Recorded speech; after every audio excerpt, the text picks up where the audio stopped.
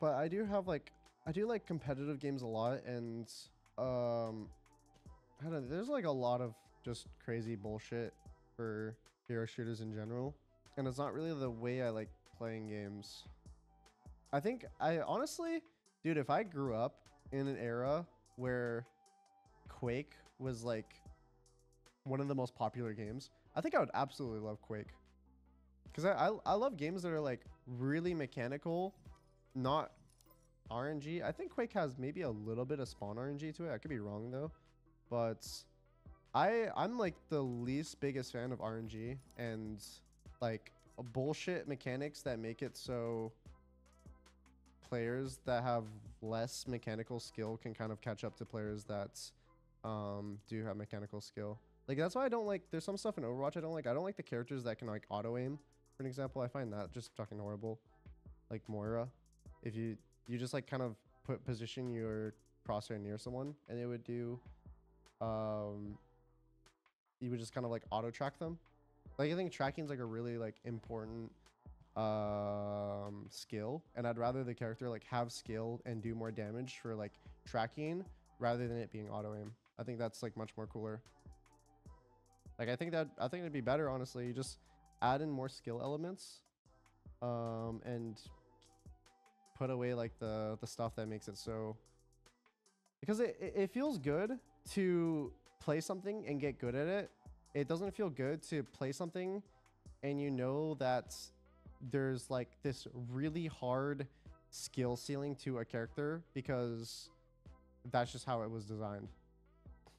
And uh, honestly, uh, that's just my opinion about stuff. Everyone likes different games. So when I do like competitive games, I like it where someone can get so fucking good at something that it becomes um like unbelievable and like that's that's why when I was um that's why you started out CS, right? Because it's mainly yes, that's actually CS, I would say, is still probably like CSGO is still like my first love when it comes to a video game.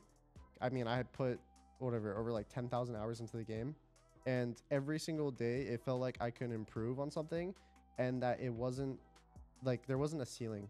I would uh, be learning new smokes, be learning new flashes. I'd be learning how to play situations a lot more better. I'd be learning how to play better as like a teammate and be more of a team player.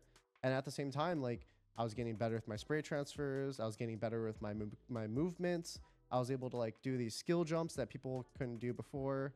Um, I could hit a bunch of bunny hops to make me break timings and get to places faster. Um, and stuff like that. I think that was like one of the biggest aspects of CS that I just fell in love with was the unlimited growth potential.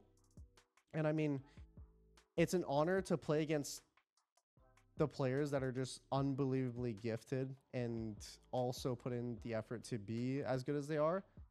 Like trust me, if if you guys ever played against in like Simple, Zywoo, Nico, like XANTARES, like all these players are just like insanely good at CS, it, you will understand that like y- you just can never beat them, and it's just because it's a skill diff, and that's just how it is. But honestly, I'd rather, I'd much rather it be a skill diff where someone way better than me just can shit on me every time than me who's worse than them being able to have like a chance sometimes. Like I, I, if I'm way worse than someone, I would like to be kicked into the dirt over and over and over until I actually am able to get better. Like that's like one of the things with like what I think one of the things that uh, made me become a really competitive gamer too and made me like achieve for improvement was whenever I'd play games before when I was younger too, I would always without a doubt set my game to the hardest difficulty because it felt like I was actually challenged in what I was doing and through that challenge it allowed me to actually figure out either a like to defeat whatever I'm doing mechanically or to do like number 2 figure out a strategy within my mind to outplay whatever is happening. And so that that kind of stuff to me, like I, that's why I do. I actually really really love um, Souls like games for that reason. I think they're really awesome. I I haven't finished like Elden Ring before, but I've actually beat uh I beat Sekiro. And the thing about Sekiro that I loved as a game was everything is so fucking hard. Even like these small little grub monsters and like these NPCs, they're just so hard to beat. But when you like figure out their attack patterns, when you get better at the game, when you know how to read the movement and stuff better, and you know how to like parry uh, and stuff like that, it actually felt so rewarding to become way better and look at yourself from the start of the game to later on in the game where your improvement is at and how much like different you are uh, mechanically in, in the game. And then also through that through that thing like when something does happen and you just end up losing the only thing you can blame is yourself. And honestly i enjoy that the most.